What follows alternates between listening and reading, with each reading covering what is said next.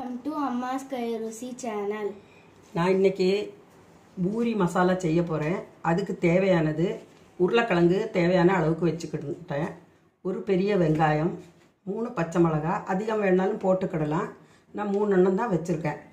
இது இந்த உருளைக்கிழங்கை வந்து குக்கரில் போட்டு கொஞ்சம் வேக வைக்கலாம். ஒரு ரெண்டு விசிலில் வேக வைக்கலாம். ரெண்டோ மூணோ விசிலில் வேக வச்சுக்கலாம்.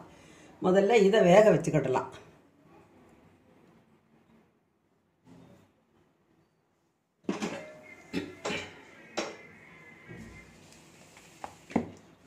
குக்கரில் போட்டு கொஞ்சம் தண்ணி ஊற்றி வேக வச்சுக்கிடலாம்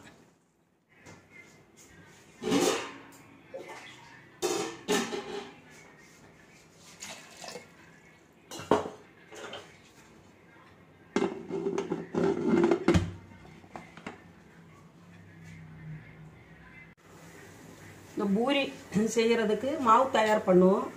நான் இரநூத்தி ஐம்பது நூற்றி ஐம்பது கிராம் மாவு வச்சுருக்கேன். கால் கிலோ மாவு. அதுக்கு ஐம்பது ரவை வச்சுருக்கேன். இதை ரெண்டும் ஒன்றா போட்டுக்கிடுவோம்.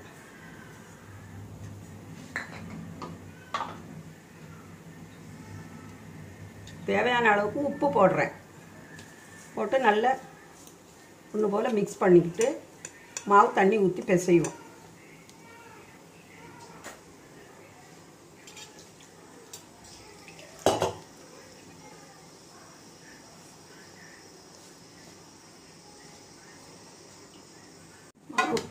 மாவு நல்லா பிசைஞ்சாச்சு. இந்த ரவை போடுறது நல்ல கிறிஸ்பியாக இருக்கிறதுக்கும் நல்ல டேஸ்ட்டும் இருக்கும். அதுக்கு தான் ஐம்பது கிராம் ரவை. இதில் கொஞ்சம் எண்ணெயை ஊற்றி மாற்றி வச்சுருவோம். ஒரு ஸ்பூன் எண்ணெய் ஊற்றிருக்கேன் இதை அப்படியே இருக்கட்டும். இந்த கிழங்கு தயார் பண்ணுவோம். மசாலா. தயார் பண்ணுவோம். இது அப்படியே இருக்கட்டும். மசாலா பண்ணதுக்கு உருளைக்கிழங்கு அவிச்சு உடச்சி வச்சுருக்கேன். வெங்காயத்தை கட் பண்ணி வச்சுருக்கேன். பச்சை மிளகாவும் கட் பண்ணி வச்சுருக்கேன். கறியாப்பிலை. இது எப்படின்னு பார்க்கலாம்.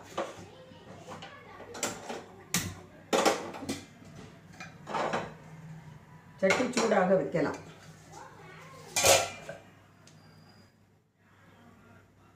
சூடாக வச்சுட்டேன். இதில் எண்ணெய் ஊற்றலாம்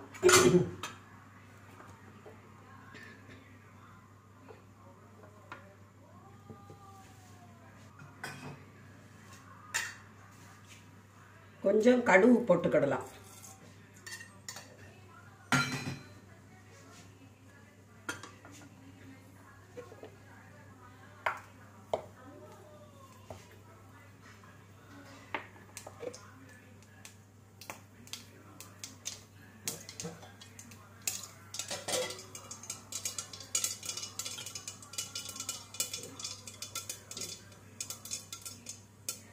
கடுகு பொரிஞ்சதும் இந்த வெங்காயத்தை போட்டுக்கலாம். இந்த பச்சை மிளகாவை போட்டுக்கலாம்.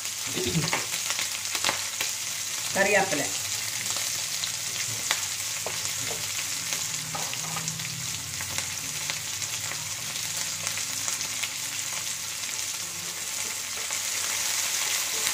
இதை கொஞ்சம் நல்ல வெ- கொஞ்சம் வேகட்டும்.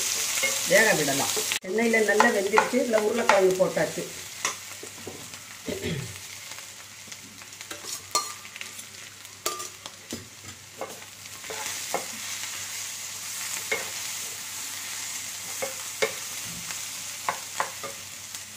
இதில் கொஞ்சம் தண்ணி ஊற்றணும் இதெல்லாம் சேர்ந்து வேகும் கொஞ்சம் போல் தண்ணி ஊற்றி விட்டேன்.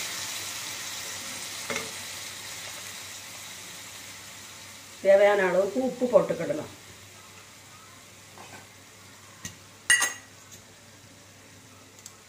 கொஞ்சம் மஞ்சள் போட்டுக்கிடலாம்.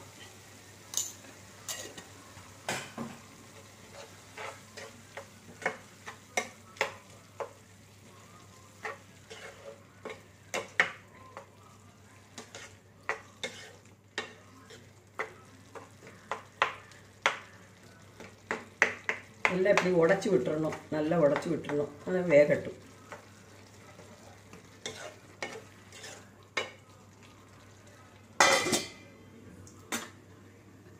அதுக்கு மசாலா தயாராகிட்டு இனி அடுத்தது பூரி செய்யலாம். மசாலா தயாராகிட்டு அடுப்பு ஆஃப் பண்ணிடலாம்.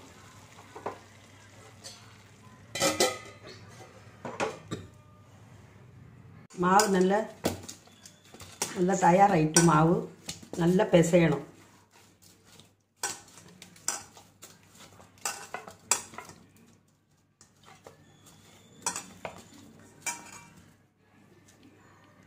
சின்ன சின்ன உருண்டைகளாக இப்படி எடுக்கணும்.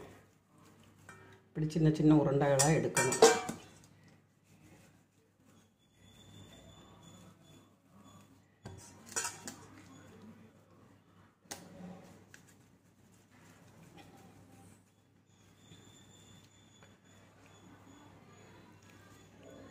மாவு சின்ன உருண்டைகளாக பிடிச்சு வச்சு- உருட்டி வச்சுருக்கேன். இது இனி அடுப்பில் சட்டி வைக்கலாம். சட்டி அடுப்பில் வைக்கலாம். அதுவரை எண்ணெய் சூடாகட்டும். இதை பறத்தும் வர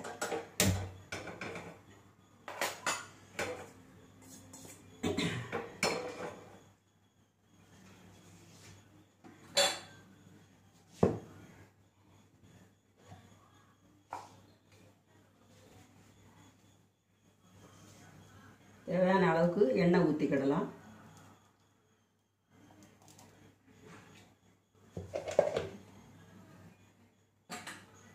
எண்ணெய் சூடாகும் வரை ஒன்றொன்னா பரத்தலாம்.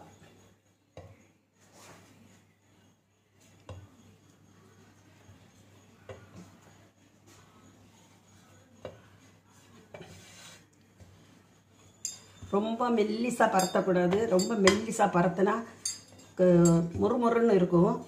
கொஞ்சம் திக்க திக்னஸ் இருக்கணும். அப்போ தான் சாப்பிட்றதுக்கு நல்லா இருக்கும்.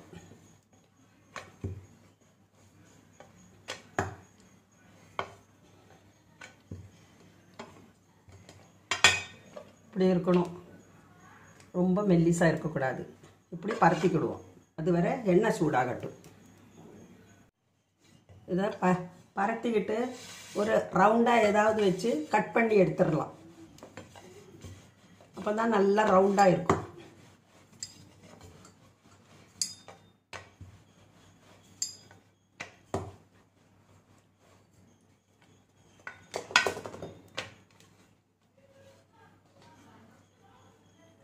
இதை வச்சு இப்படி நான் ரவுண்டாக எடுக்க.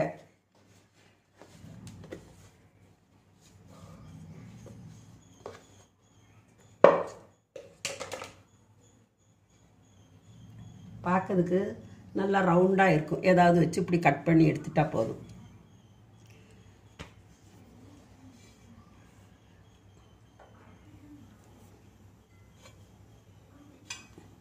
நல்லா சூடாயிட்டு ஒன்றுன்னா போட்டு எடுக்கலாம்.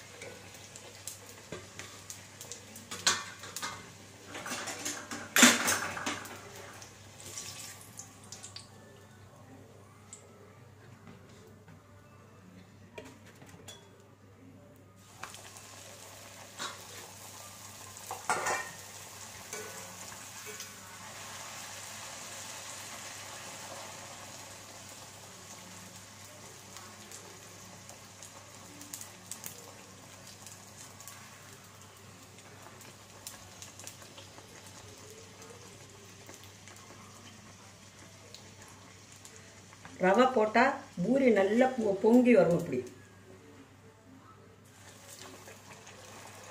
பூரி தயாராயிட்டு.